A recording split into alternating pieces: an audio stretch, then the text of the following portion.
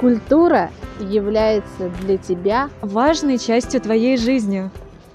Ты даришь ее другим людям и получаешь взамен благодарных почитателей. Твое призвание не только развлекать, но еще и учить и развивать лучшие качества человеческой души. Пусть этот праздник станет еще одним подтверждением значимости нашей сферы. Пусть зрителей становится больше.